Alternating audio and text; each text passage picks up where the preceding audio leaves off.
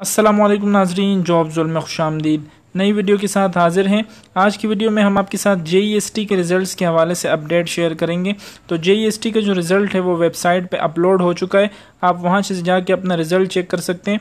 और ये उन कैंडिडेट का रिज़ल्ट होगा जिन्होंने ओवरऑल 55 परसेंट मार्क्स यानी 55 नंबर उन्होंने कम अज़ कम लिए हैं और हर सब्जेक्ट में 45 परसेंट मार्क्स जो है वो ले चुके हैं।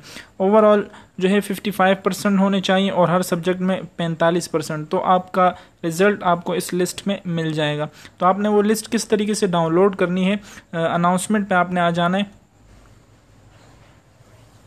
इस तरीके से आपके पास एस टी एस अनाउंसमेंट्स का पेज खुलेगा। ये फ़र्स्ट नंबर पे आप देख सकते हैं test result of J E S T और ये अपलोड कब हुआ है, वो भी आप यहाँ देख सकते हैं, एक दस दो हज़ार इक्कीस को ये, यानी आज ये पब्लिश हुआ है। यहाँ पे आपने व्यू ऑल डॉक्स पे क्लिक कर देना है तो आपके पास इस तरह का आ जाएगा test result of J E S T इस पर आपने क्लिक कर देना है।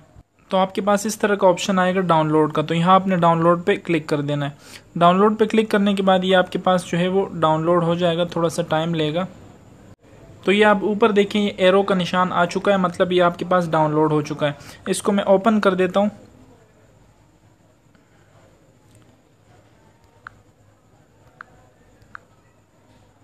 तो ये आप देखें, आपके पास test result of J E S T B P S fourteen government of Sindh ये सारे आपके पास सीट नंबर लिखा हुआ है। और जितने नंबर आपने हर पोर्शन में लिए हैं, वो लिखे हुए और आखिर में टोटल मार्क्स जो हैं, वो लिखे हुए हैं। तो इसमें कम से कम 55 वाला होगा और ज़्यादा से ज़्यादा जितने मार्क्स लोगों ने लिए हैं, वो होंगे।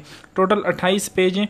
इसमें आप अपने सीट नंबर के हिसाब से अपना रिज़ल्ट चेक कर सकते हैं। यहाँ पर ये देखें सीट नंबर्स दिए हुए और आपके टोटल नंबर जितने हैं, आप उससे भी डायरेक्ट चेक कर सकते हैं।